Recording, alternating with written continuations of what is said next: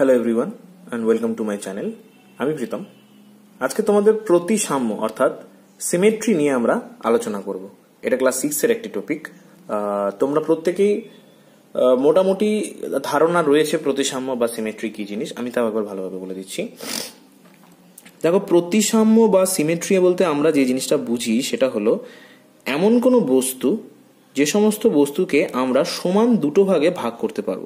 অর্থাৎ যদি আমরা মাঝ বরাবর, অর্থাৎ এইভাবে যদি ভাগ করি, তাহলেও কিংবা এইভাবে যদি ভাগ করি, তো এইভাবে বা যে কোনো এইভাবে ভাগ করা যেতে পারে এইভাবে ভাগ করা যেতে পারে। যেভাবে ভাগ করি, আমরা যদি কোনো বস্তু, সেটা লিভিং থিংস হতে পারে, অর্থাৎ মানে যার মধ্যে প্রাণ আছে, সেরকম কোনো জিনিস হতে পারে, বা যার মধ্যে প্রাণ নেই, সেরকম কোনো জিনিসও হতে পারে। যদি এরকম কোনো বস্তু থাকে, যেটাকে আমরা সমান দুই ভাগে ভাগ করতে পারি, বা তার বেশি ভাগে ভাগ করতে পারি। কিন্তু যতগুলো ভাগই করব, প্রত্যেকটা ভাগ হবে সমান, তাকে বলা হয় প্রতিসাম্য বা সরি সেই সমস্ত বস্তুগুলোকে বলা হয় প্রতিসাম্য বস্তু বা সিমেট্রিক্যাল ফিগার এবং এই যে ভাগ করার যে বলা হয়, ভাগ করা হচ্ছে যে এটাকে বলা হয় প্রতিসাম্য। এবার দেখো তোমাদের বইয়ে যেটা রয়েছে, অর্থাৎ টোয়েন্টি থ্রি নম্বর যে অধ্যায়টা রয়েছে যেমন টু সিক্সটি নাইন পেজে দেখো কিছু ছবি অলরেডি আমাদের দেওয়া রয়েছে। যেমন প্রথমে যে ছবিটা রয়েছে, এটা হচ্ছে অরিজিনাল ছবি। এই ছবিটাকে যদি আমি এই বরাবর কাটি, এই বরাবর যদি আমি ভাগ করি, তাহলে দেখা যাচ্ছে এরকম একটা ছবি আমরা পাচ্ছি। তারপরে এই ছবিটাকেও যদি আমরা এই বরাবর ভাগ করি, তাহলে এরকম একটা ছবি পাচ্ছি। এটাকেও এই বরাবর ভাগ করলে এরকম একটা ছবি পাচ্ছি, এটাকেও এই বরাবর ভাগ করলে এরকম একটা ছবি পাচ্ছি।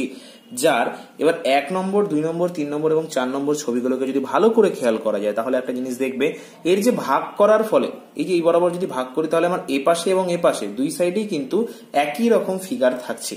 এর এদিকেও যা থাকছে, এদিকেও তাই এদিকেও তাই এদিকেও তাই, এবং এটারও সেক্ষেত্রে এদিকেও যা আছে, এটাও তাই আছে। অর্থাৎ এই রেখা বরাবর, এই রেখা বরাবর যদি আমি এটাকে সমান দুভাগে ভাগ করি, তাহলে দেখা যাচ্ছে মানে দুভাগে ভাগ করি, তাহলে দেখা যাচ্ছে যে দুটো পাশই কিন্তু আমার একদম সমান থাকছে। তাই জন্য এই সমস্ত ছবিগুলোকে বলা হয় প্রতিসম ফিগার প্রতিসম বস্তু বা সিমেট্রিক্যাল ফিগার কিন্তু পাঁচ নম্বর ছবিটাকে দেখো, আমি যদি এই বরাবর ভাগ করি, তাহলে এই সাইডে যে পরিমাণ বা যতটুকু থাকছে, ওই সাইডে কিন্তু সমান থাকছে না। তাই জন্য এটাকে কিন্তু প্রতিসম ফিগারের মধ্যে বলা হয় না, বা প্রতিসম বস্তু বলা যেতে পারে না। তো আমরা প্রতিসম বস্তু বলতে গেলে মেনলি যে কটা ভাগে ভাগ করা যায়, এইভাবে যে রেখাটা, এইভাবে এইভাবে যে সমস্ত বস্তুকে ভাগ করা হয়, এই বরাবর। এই বরাবর যে সমস্ত, এই বরাবর যে সমস্ত বস্তুকে ভাগ করা হয়, এটাকে বলা হয় উলম্ব রেখা বরাবর ভাগ বা উলম্ব রেখা বরাবর প্রতিসম বস্তুগুলোকে ভাগ করা হয়। এটাকে বলা হয় উলম্ব প্রতিসম রেখা। এবং এই বরাবর যে সমস্ত রেখা থাকে, এইভাবে এইভাবে যে সমস্ত বস্তুগুলোকে ভাগ করা যায়, তাদেরকে বলা হয় আনুভূমিক আনুভূমিক রেখা। এবং এই দুটোই মেনলি উলম্ব রেখা এবং আনুভূমিক রেখা, এই দুটো দিয়ে মেনলি ম্যাক্সিমাম বস্তুকে সমান দুই ভাগে ভাগ করা যায়। এছাড়াও এই ধরনেরও এইভাবেও কোনো বস্তুকে ভাগ করা যেতে পারে। এই ধরনের রেখাগুলিকে বলা হয় কোনাকুনি রেখা বা কোনাকুনি ভাবে বস্তুকে ভাগ করা। তো এগুলোকে বিভিন্ন ছবির ক্ষেত্রে যে- যেটা যেভাবে ভাগ করা যায়, সেগুলোকে সেভাবে আমরা ভাগ করব। এবারে প্রতিসম বস্তু জিনিসটা আমরা বুঝলাম, প্রতিসম রেখা আমরা বুঝলাম। এবারে যেটা বোঝার জিনিস, সেটা হচ্ছে অনেক ফিগার থাকে বা কিছু জিনিস থাকে যেগুলোর প্রতিবিম্ব প্রতিবিম্বও সমান হয়। প্রতিবিম্ব মানে সেগুলোকে যদি আয়নার সামনে আমরা দাঁড় করাই, তাহলে তার যে রিফ্লেকশন আসবে, সেগুলো সমান হয়। এ ধরনের কিছু যদি আমি চিন্তা করি তেমন দেখো তুমি যদি, আমরা যদি একটা মানুষ হিসেবে আমরা যদি আয়নার সামনে দাঁড়াই, তাহলে আমাদের কিন্তু উল্টো প্রতিবিম্ব আসে। অর্থাৎ আমরা যেটা দেখতে পাই, সেটা কিন্তু আমাদের, আমাদেরই মতন। কিন্তু আমার বাঁ হাতে যদি ঘড়ি থাকে, তাহলে আয়নায় যখনই দাঁড়াবো, ঘড়িটা কিন্তু আমার ডান হাতে চলে যায়। অর্থাৎ আমি যেরকম থাকি, তার উল্টোটা আসে। এটা হচ্ছে আয়না বা প্রতিবিম্বর মেন যে ক্রাইটেরিয়া সেটা হচ্ছে বা মেন যে ধর্ম, সেটা হচ্ছে যে যা আমরা সামনাসামনি যে জিনিসটা দেখি, আয়নায় ঠিক তার উল্টোটা হয়। এবার কিছু কিছু ফিগার থাকে যার উল্টো হয় না বা যার চেঞ্জ হয় না বা চেঞ্জ হলেও সেটা বোঝা যায় না। যেমন এই ধরনের কিছু ছবি কিন্তু তোমাদের পরীক্ষার সময় আসতে পারে যে যে কোনো একটা ছবি দিয়ে বলে দিল বা যে কোনো একটা অ্যালফাবেট তুলে দিয়ে বলল যে এটাকে প্রতিবিম্ব করলে কীভাবে হবে। যেমন দেখো, আমি যদি এ লিখি অ্যালফাবেটিক্যাল যদি বড় হাতের এ লিখি, এই এ ধরো এই জায়গাটাতে আয়না আছে। এটা একটা দর্পণ যেখানে আয়নাটা তার করানো আছে। এবার বলল এর প্রতিবিম্ব কি হবে? এ এর যদি প্রতিবিম্ব হয়, তাহলে কিন্তু এরকমই হবে এর প্রতিবিম্ব। অর্থাৎ এর ক্ষেত্রে কিন্তু কোনো রকমের চেঞ্জ হবে না। এবার যদি আমরা নিই বি এটা বি এবার বি এর যদি প্রতিবিম্ব আমরা করি, তাহলে কিন্তু আমার চেঞ্জ আসবে। কীরকম হবে? এই যে বিয়ের প্রতিবিম্ব কিন্তু আমার উল্টে যাবে। এই হলো দর্পণের বা আয়নার মেন জিনিস। আমরা যেটা অরিজিনাল এটা কিন্তু অরিজিনালটা এই অরিজিনালটা যখনই আমরা দর্পণে দেখব, তখন সেটা কিন্তু সম্পূর্ণ উল্টে যায়। এবার সব অ্যালফাবেটের ক্ষেত্রে সেটা হবে না। যেমন ও যদি নিই, ওর ক্ষেত্রে কিন্তু সেটা হবে না, কারণ ও এখানেও যা থাকবে, দর্পণেও কিন্তু ও তাই থাকবে। দেখো, এটা কিন্তু এখানেও যা, দর্পণেও তাই। এবার এই ওটাকে যদি আমরা চেঞ্জ করে কিউ করে নিই, যদি এরকম কিউ করে নিই, এই কিউটা কিন্তু আবার দর্পণে উল্টে যাবে। কীরকম ভাবে উল্টে যাবে, তখন কিন্তু এটা এরকম হয়ে যাবে। এটা কিন্তু দর্পণে উল্টে যাবে। যেমন দেখো এস এস হচ্ছে অরিজিনাল এরকম। এটা যখন আমরা দর্পণে লিখব, তখন সেটা কি হয়ে যাবে? উল্টে যাবে। উল্টে গিয়ে এই হয়ে গেল। আবার যদি আমরা লিখি ডাব্লু ডাব্লুটা যখনই আমি দর্পণে দেখব, তখন কিন্তু সেটা উল্টাবে না। কারণ ডাব্লু ডাব্লুই থেকে যাচ্ছে। এই যে ডাব্লু ডাব্লুই থেকে যায়। এটা যা আছে সেরকমই থেকে যায়। তার কারণ দেখো, এটা যেরকম আমার মেন জিনিসটা দর্পণে উল্টে যায়। যেমন দেখো, আমি যদি নিই আমি এন তাহলে এই ছবিটা সবার আগে এখানে হবে। তারপরে দেখো, এটা ওপর থেকে নিচে নেমেছে, তাহলে এই ক্ষেত্রে হবে নিচ থেকে ওপরে তারপরে আবার এটা, এই যে এন উল্টে গেল। যদি নিই আমরা ধরো এক্স এবার এক্স কি হবে? এক্স এরটা এক্সই থেকে যাবে এরকম। তাহলে এক্স আবার উল্টো হচ্ছে না। এবার কিছু কিছু জিনিস উল্টে যায়, কিছু কিছু জিনিস উল্টায় না। হয়তো তোমাদের কি থাকবে পরীক্ষার সময়? যে কোনো একটা হয়তো অ্যালফাবেট তুলে দিয়ে, বা ফিগার তুলে দিয়ে বলল, এর দর্পণের প্রতিবিম্ব কি হবে? কিংবা হয়তো দেখা গেল একটা এরকম বাড়ির ছবি তোমাকে হাফ তুলে দিল।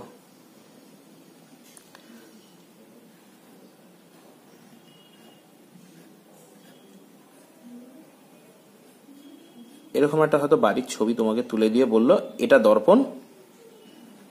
এটা হচ্ছে দর্পণ। তাহলে এর অর্ধেকটা তো এখানে দেওয়া আছে, বাকি অর্ধেকটা কীরকম হবে? তোমাকে হয়তো আঁকতে বলে দিল বা এরকম ড্র করতে বলল। তখন তাহলে বাকি অর্ধেকটা কি হবে? এর উল্টোটাই হবে দর্পণে মানে এদিকটা হবে এরকম প্রথমত। তারপরে এটা যাবে। তারপরে এই এতটুকু আসবে। তারপর এটা, এই এই। এবং এই গিয়ে এই এই হয়ে গেল তোমার দর্পণের প্রতিবিম্ব। অর্থাৎ এই বরাবর আমার দর্পণটা রয়েছে, তাই এটা দর্পণ এবং প্রতিবিম্ব আঁকতে বললে এরকম হচ্ছে আমার প্রতিবিম্ব। এরপরে দেখো এই ধরনের কিছু ছবি কিন্তু তোমাদের বইয়েও আছে। এবার আমি সরাসরি তোমাদের বইটাকে দেখাচ্ছি, তাহলে তোমাদের করতে সুবিধা হবে। যে দেখো, এগুলো হচ্ছে সেই দর্পণের ফিগার যদি এটা এইভাবে থাকে, তাহলে দর্পণে এরকম তৈরি হবে। গ্লাসটা যদি এরকম থাকে, তাহলে দর্পণে ঠিক এইরকমই গ্লাস তৈরি হবে একটা। এ যদি এরকম হাফ করা থাকে, এই বরাবর দর্পণটা আছে, এই যে এই ডট বরাবর দর্পণটা আছে। এর এতটুকু দেওয়া ছিল, এই হাফটা তৈরি হলো। ঠিক প্রজাপতিটারও তাই, এই এইদিকে এতটা হচ্ছে দর্পণের, এটা হচ্ছে দর্পণ। এইদিকে যেটা অরিজিনাল এদিকে তার প্রতিবিম্বটা তৈরি হচ্ছে। এই যে এটা হচ্ছে তার প্রতিবিম্ব। একই রকম ভাবে এখানেও দেখো গ্লাসটাকে যেভাবে রাখা আছে, এটা হচ্ছে সেই গ্লাসটা এ পাশে হচ্ছে তার প্রতিবিম্ব। এবং এই যে ডট ডটটা দেখতে পাচ্ছ, এই যে ডট ডটটা উপরে উঠে গেছে, এই ডট ডটটা হচ্ছে এই ক্ষেত্রে দর্পণটা। দেখো, উপরে লেখা আছে আয়না আয়না এবং আয়না। তো এইভাবেও থাকে, কিছু ছবি তোমাকে হাফ একে দিয়ে বলবে, বাকিটা দর্পণে কীরকম ভাবে সম্পূর্ণ করো, বা এরকম একটা দিয়ে বলবে, এই দিকেরটা আঁকতে পারো, এরকমও থাকতে পারে। কিংবা থাকতে পারে হচ্ছে এই ধরনের ফিগার এই ধরনের এতগুলো ফিগার দিয়ে তোমাকে দেখো, উপরে বলে দিয়েছে, প্রতিসম রেখাগুলি আছে কিনা, দেখো, যদি থাকে তাহলে সেটাকে আঁকানোর চেষ্টা করা যদি না থাকে, তাহলে নেই। যেগুলোর মধ্যে থাকবে, সেগুলোকে আঁকানোর চেষ্টা করব। যেটার মধ্যে থাকবে না, সেটাকে আঁকানোর আঁকানো যাবে না, সম্ভব হবে না আঁকানো। যেমন দেখো, এই ছবিটাকে আমি কিন্তু কোনোভাবে প্রতিসম রেখা দ্বারা আঁকতে পারব না। এবার এটা দেখে মনে হতে পারে যে এটা তো এরকম একটা প্রতিসম রেখা থাকতে পারে। কিন্তু দেখো, এরকম যদি একটা প্রতিসম রেখা থাকে, তাহলে এটার ওপরে থাকছে, এটার নিচে থাকছে। এইভাবে যদি আমি করি, এই জিনিসটার এটার ওপরে চলে যাচ্ছে এবং এই জিনিসটা এটার নিচে চলে আসছে কাজে এই দুটো কিন্তু সমান ফিগার হচ্ছে না। এক্ষেত্রে কিন্তু এটার কোনো রকম প্রতিসম রেখা থাকবে না। যদি ভিতে আসি, তাহলে ভির কিন্তু আমি এই বরাবর, যদি এই বরাবর আমি একটা রেখা টানি, তাহলে কিন্তু একটা প্রতিসম রেখা থাকবে। অর্থাৎ এই যে উলম্ব বরাবর যদি ঠিক মাঝখান দিয়ে একটা রেখা টানি, তাহলে তার প্রতিসম রেখা থাকবে। একই রকম ভাবে যদি এটার করি, এটারও কিন্তু আমার প্রতিসম রেখা থাকবে। তো দেখো, আমরা যদি এটাকে এটাকে কিন্তু আমাদের কোনোভাবেই এই যে জিনিসটা দেখতে পাচ্ছি, এই ফিগারটাকে কিন্তু কোনোভাবেই আমরা প্রতিসম মানে আমরা এটাকে ভাগ করতে পারব না প্রতিসম রেখা দ্বারা। তাই এটার কোনো রকম প্রতিসম রেখা থাকবে না। এবার এই ভিটাকে কিন্তু আমরা এই বরাবর আমরা একটা ভাগ করতে পারব। অর্থাৎ আমি যদি এই বরাবর টানি, তাহলে কিন্তু এটা একটা প্রতিসম রেখা থাকছে। জানি এই পাশেও যা থাকছে, এই পাশেও কিন্তু আমার তাই থাকছে। আবার যদি এই ফিগারটাকে দেখো, এই ফিগারটাকে একটু যদি ভালোভাবে দেখা যায়, তাহলে দেখা যাবে যে এইটা আর এটা কিন্তু, এই দুটো কিন্তু পোর্শন বড় আছে এবং এই দুটো পোর্শন ছোট আছে। কাজে এই ফিগারটাকে কিন্তু আমি এইভাবে বা এইভাবে ভাগ করতে পারব না। তাহলে কিন্তু আলাদা হয়ে যাবে আমি শুধুমাত্র এই ফিগারটাকে হয় এইভাবে ভাগ করতে পারব, নয় এইভাবে ভাগ করতে পারব। অর্থাৎ এক্ষেত্রে কিন্তু প্রতিসম রেখা আমার থাকছে দুটো, একটা এই বরাবর থাকছে এবং আর একটা থাকছে আমার এই বরাবর। এই দুটো কিন্তু প্রতিসম রেখা থাকছে। যেমন এটারও কোনো প্রতিসম রেখা থাকছে না। আবার এটাকে যদি করি, এটারও কিন্তু প্রতিসম রেখা আমার থাকছে শুধুমাত্র একটা। অর্থাৎ এই বরাবর আমার একটাই মাত্র প্রতিসম রেখা থেকে যাচ্ছে, এছাড়া কিন্তু আমার কোনো প্রতিসম রেখা থাকছে না, এই বরাবর কিন্তু প্রতিসম রেখা হবে না। এটার যদি দেখি, এটার কিন্তু আমার পাঁচটা প্রতিসম রেখা হবে। অর্থাৎ প্রত্যেকটা শীর্ষবিন্দু থেকে তার বিপরীত বাহুর মধ্যবিন্দু পর্যন্ত এক একটা করে কিন্তু প্রতিসম রেখা হবে। এই একটা প্রতিসম রেখা হলো। ঠিক একই রকম ভাবে এই একটা প্রতিসম রেখা হবে। আবার একই রকম ভাবে তোমার এই একটা প্রতিসম রেখা হবে। আবার এই একটা প্রতিসম রেখা হবে। এই পাঁচটা প্রতিসম রেখা হবে। এর সরি পাঁচটা হয়নি এখানে, চারটা হয়েছে, এই আর একটা আছে।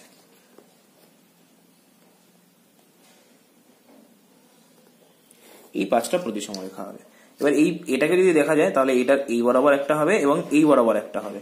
এই বরাবর একটা এবং এই বরাবর একটা। এটা তোমরা নিজেরা করবে। ঠিক প্রজাপতিরও কিন্তু আমার এই বরাবরই হবে। এছাড়া কিন্তু কোনো হবে না। প্রজাপতির এই বরাবর হবে। কিউ এর ক্ষেত্রে কোনো প্রতিসম রেখা থাকছে না বি এর ক্ষেত্রেও কোনো প্রতিসম রেখা থাকছে না, কারণ খুব ভালো করে দেখলে দেখা যাচ্ছে যে উপরের পোর্শনটা ছোট এবং নিচের পোর্শনটা বড়। কাজে এর কিন্তু এইভাবে কোনো রকম প্রতিসম রেখা বা এইভাবে তো হবেই না। এই ছাতাটার ক্ষেত্রে যদি আসি, ছাতার ক্ষেত্রে প্রতিসম রেখা একটাই হবে, এই বরাবর। এবং এই পাতার ক্ষেত্রেও এই বরাবর প্রতিসম রেখা হবে। এবার ত্রিভুজটাকে তাকিয়ে দেখো, ত্রিভুজটা আছে হচ্ছে সমবাহু ত্রিভুজ। সমবাহু ত্রিভুজ মানে এর কিন্তু তিনটে প্রতিসম রেখা হবে। তার মানে এটার হবে এই বরাবর এটার হবে এই বরাবর এবং এটার হবে এই বরাবর। এদিক থেকে এই বরাবর। তার মানে এই যে তিনটে প্রতিসম রেখা আমি পাবো। এটা একটা বর্গক্ষেত্র। বর্গক্ষেত্রে কটা প্রতিসম রেখা পাবো? বর্গক্ষেত্রেও পাবো চারটা প্রতিসম রেখা। অর্থাৎ একটা জিনিস মাথায় রাখবে, সুষম যেহেতু বাহুগুলো থাকছে, সুষম ত্রিভুজের তিনটে প্রতিসম রেখা। সুষম বর্গক্ষেত্র মানে সুষম চতুর্ভুজ, সুষম চতুর্ভুজের সুষম মানে সবগুলো বাহু যার সমান হয়। সুষম চতুর্ভুজ অর্থাৎ সুষম চতুর্ভুজের কিন্তু চারটাই হচ্ছে আমার প্রতিসম রেখা। কি বরাবর? এই বরাবর একটা, এই বরাবর একটা। আবার কোনাকুনি হবে। এটা কিন্তু চতুর্ভুজ বলতে শুধুমাত্র বর্গক্ষেত্রের ক্ষেত্রে কোনাকুনি হয়, আয়তক্ষেত্রের ক্ষেত্রে কিন্তু কোনাকুনি হয় না। আয়তক্ষেত্রে কিন্তু কোন রকম কোনাকুনি প্রতিসম রেখা হয় না। বর্গক্ষেত্রের ক্ষেত্রে চারটা প্রতিসম রেখা হয় এবং আয়তক্ষেত্রের ক্ষেত্রে শুধুমাত্র দুটো প্রতিসম রেখা হয়। এখানে চারটা। ঠিক একই রকম ভাবে এটার এটার হবে অসংখ্য, যেহেতু বৃত্ত। তার মানে এটা যেই বরাবর যে কোনো ব্যাস বরাবরই আমি টানবো, সেগুলো কিন্তু প্রতিসম রেখা। তাই এটার হবে অসংখ্য, এটা বিষমবাহু ত্রিভুজ, তাই এটার একটাও প্রতিসম রেখা হবে না। এরপরে যেটা আছে তোমাদের বইয়ের মধ্যে, সেটা হচ্ছে একই রকম ছবি, এরকম কিছু প্রতিবিম্ব টাইপ ছবি তোমাদেরকে করতে হবে।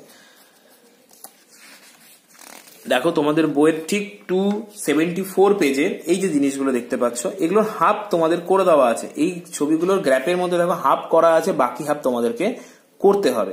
এটারও হাফ করা আছে, এই পোর্শনটাকে করতে হবে। একই রকম ভাবে এগুলোকে দেখে দেখে করতে হবে। এগুলোর কীরকম হচ্ছে তার একটা ছবি বা আমি দিয়ে দেবো কমপ্লিট করে। এগুলোর হাফ পোর্শন করলে কীরকম হবে সেটা আমি তোমাদেরকে দিয়ে দেব। এখানে আছে প্রতিসম রেখা কটি হবে। এখানে কার কটা প্রতিসম রেখা সেগুলো বের করতে হবে। এবং এখানে দুই নম্বর, তিন নম্বর যেটা আছে, দুই নম্বর বলছে তোমার দেখা পাঁচটি প্রতিসম ছবি আঁকো। মানে তুমি যে কোনো রকম পাঁচটি বস্তুর ছবি আঁকতে পারো। তিন নাম্বার বলেছে, এই যে ছবিটা, এই ফিগারে যেরকম এরকম আঁকানো আছে, এরকম একই রকম ছবি এই তিনটে সাইডেও আঁকতে বলেছে। অর্থাৎ এই সাইডে এই সাইডে এই সাইডে আঁকতে বলেছে। এখানে নেবে? চার নাম্বার যেটা আছে, চার নাম্বারে বলেছে, এই যে ছবিগুলো আছে, এগুলোর কার কতগুলো প্রতিসম রেখা হবে? প্রথমটা দেখে বোঝা যাচ্ছে সমবাহু ত্রিভুজ, অর্থাৎ তার তিনটে প্রতিসম রেখা হবে। দ্বিতীয়টা দেখে বোঝা যাচ্ছে সমদ্বিবাহু ত্রিভুজ, অর্থাৎ এর মাত্র দুটো প্রতিসম রেখা হবে। তিন নাম্বারটা বোঝা যাচ্ছে হচ্ছে, তিন নাম্বারটা দেখে বোঝা যাচ্ছে, তিন নাম্বারটা হলো বর্গক্ষেত্র। অর্থাৎ বর্গক্ষেত্র মানে এর প্রতিসম রেখা থাকবে চারটি। এটা একটা আয়তক্ষেত্র আয়তক্ষেত্র প্রতিসম রেখা থাকবে দুটো। কি বরাবর, এই বরাবর এবং শুধুমাত্র এই বরাবর। এছাড়া আর কোনো প্রতিসম রেখা থাকবে না। আয়তক্ষেত্রের এই বরাবর এবং এই বরাবর দুটো। বর্গক্ষেত্রের এই বরাবর এই বরাবর এই বরাবর। সম সমদ্বিবাহু ত্রিভুজের এই বরাবর, সমবাহু ত্রিভুজের যেটা দেখালাম আগে, এই বরাবর একটা, এই শীর্ষবিন্দু থেকে একটা এবং এই শীর্ষবিন্দু থেকে একটা। পাঁচ নম্বর ফিগারটাতে যদি আসি, পাঁচ নম্বর ফিগারটাতে আমার টোটাল প্রতিসম রেখা হবে আটটি। কীভাবে? প্রত্যেকটা, দেখো, এই যে প্রত্যেকটার মধ্যবিন্দু বরাবর এইভাবে একটা হবে, একই রকম ভাবে এভাবে হবে। আবার আচ্ছা এখানে আবার দেখো, এই বরাবর হবে।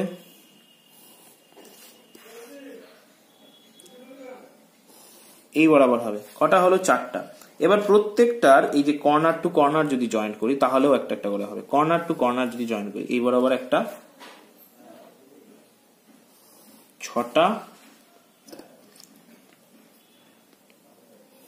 সাতটা,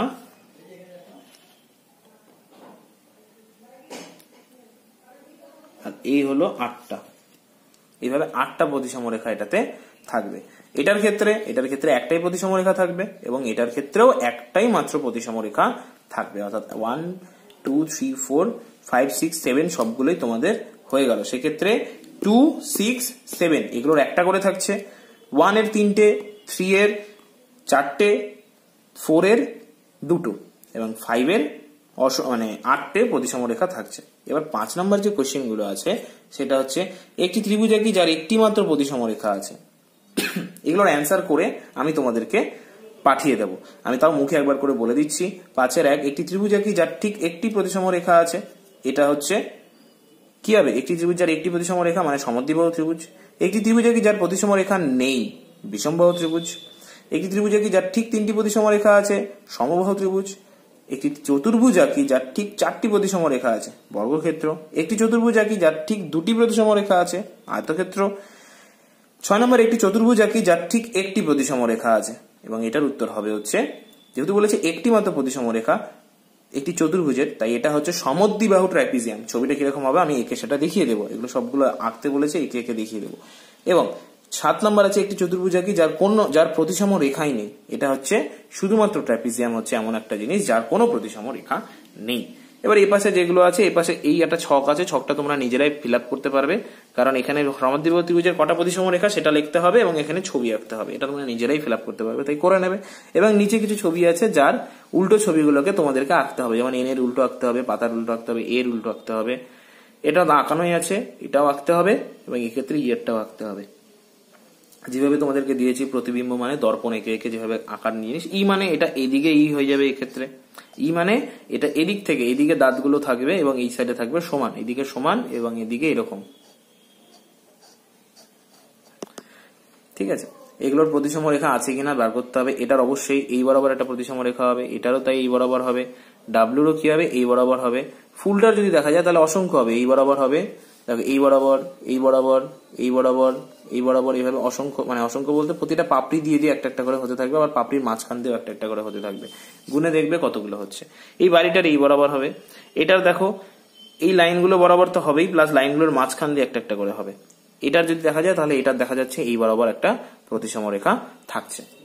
বাকি যে অঙ্কগুলো, যে জিনিসগুলো আছে এখানকার ছবিটা এবং এখানকার ছবিটা আমি কমপ্লিট করে, এখানকার ছবিটাকে আমি কমপ্লিট করে দিয়ে দিচ্ছি এবং এখান থেকে আমি তোমাদের যে অ্যান্সারগুলো হচ্ছে সেগুলো আমি পাঠিয়ে দিচ্ছি।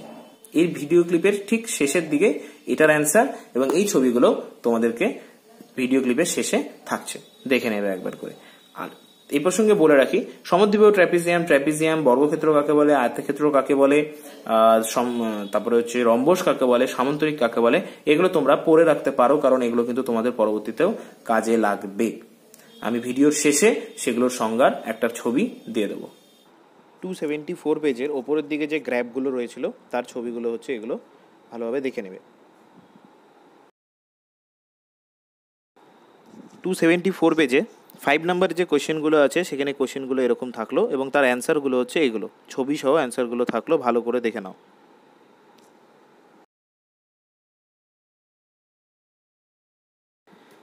বর্গক্ষেত্র বা স্কোয়ার আয়তক্ষেত্র বা রেক্ট্যাঙ্গেল রম্বস সামান্তরিক বা প্যারাডোরোগ্রাম ট্র্যাপিজিয়াম এবং সমদ্বীপ ট্র্যাপিজিয়ামের সংজ্ঞাগুলো ছবিসহ দেওয়া থাকল।